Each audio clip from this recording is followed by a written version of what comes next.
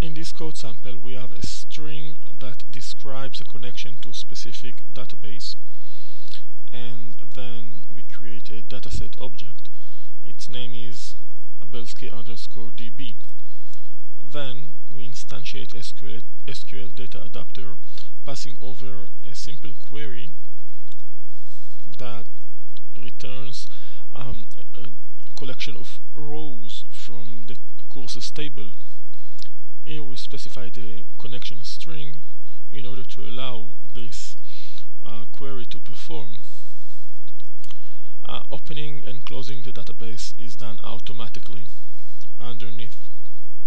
Then, when calling the function fill on the data adapter, on the SQL data adapter, we, we, we get here in this line calling fill passing over a reference for a dataset and a name of a new table we want to create in um, this specific dataset, the outcome is a new table in our dataset that its name is courses and the data it holds is the data we receive from this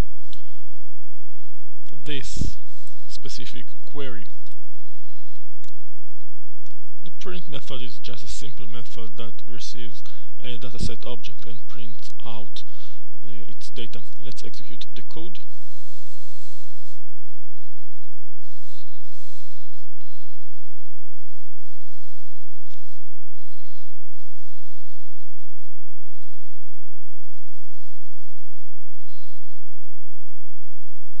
And this is the outcome.